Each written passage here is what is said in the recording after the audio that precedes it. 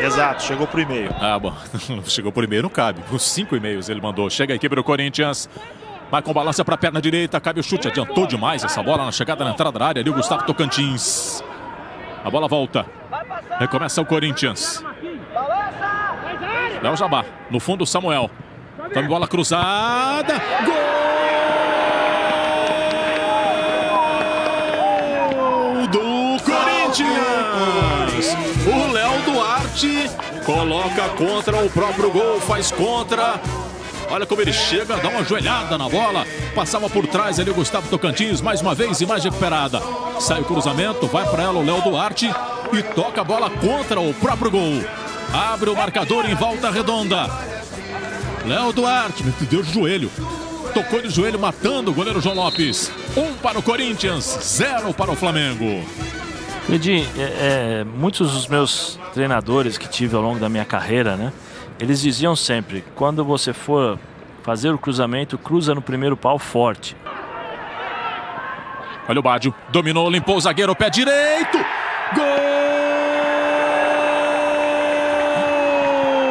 do Flamengo. Do Douglas Bádio. Mostrou o core, ficou no um contra um, era a oportunidade que ele estava buscando no jogo. Olha o lançamento que sai aqui atrás. Ele parte, ganha do Rafael Augusto, coloca essa bola na frente. O Lucas, né? Chega na cobertura. Um instantezinho de desatenção. Foi o lance que teve no jogo, o Bádio. A oportunidade que ele teve de ficar no mano a mano, no um contra um. Aí a Caixa empata o jogo para o Flamengo. Muito bom jogador, né? Tecnicamente ele, ele é um jogador que sabe o que faz dentro da área, principalmente nesse mano a mano.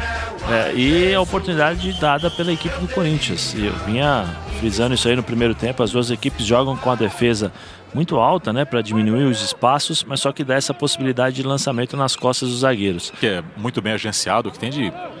Não é fácil. Vem a equipe do Flamengo. Bateu o Sávio. Balançou para a perna canhota. Tocou um bolão para o Thiago Enes. Devolveu para a boca do gol.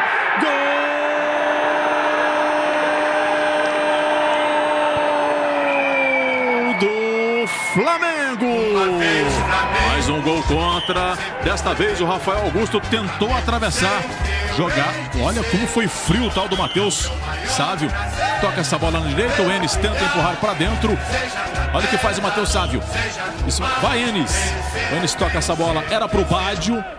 É aquela atravessada do zagueirão que está ali acompanhando e acabou tocando contra as próprias redes. O Rafael Augusto fazendo o segundo gol do Flamengo. O gol da virada em volta redonda. Dois para o Flamengo, um para o Corinthians. Chegou atrasado e no desespero, né, Cleiton? Agora nós temos que valorizar a jogada do Matheus Sávio. Jogada excepcional, esperou a ultrapassagem. 10 quilômetros no entorno.